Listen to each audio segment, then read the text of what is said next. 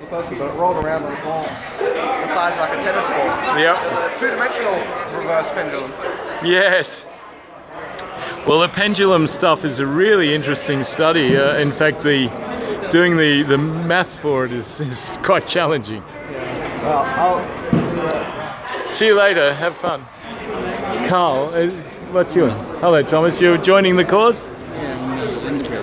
Oh, good on you. Yes, I'm. I am too. Actually, I'm just doing a bit of uh, uh, designing. Uh, sorry, tuition and so forth in it because I've been around long enough to for them to trust me with all the gear. I guess it's a bit like that. I look forward to bumping into you. Yeah, indeed. Have fun.